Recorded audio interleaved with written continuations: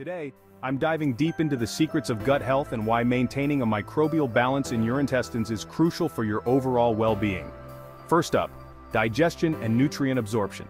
Did you know that the microorganisms in your gut break down nutrients like fiber, carbohydrates, and proteins?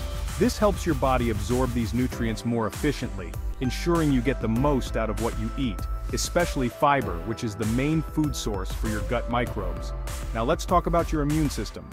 Your gut microbes act as a defense barrier, preventing the invasion of pathogens and boosting your immune cells' activity.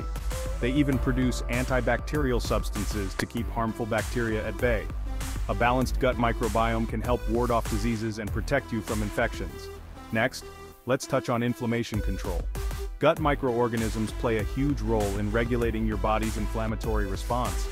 Chronic inflammation is linked to serious conditions like cancer, diabetes and heart disease.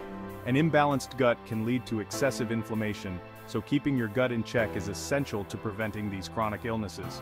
Ever heard of the brain-gut axis? Your gut microbes have a direct line to your nervous system.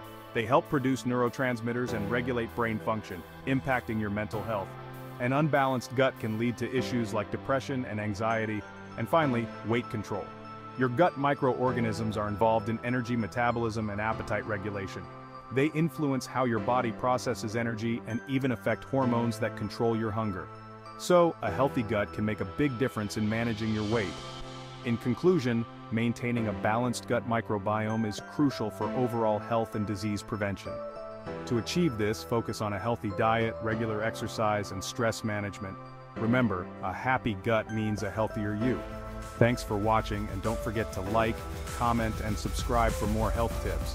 Stay healthy, everyone.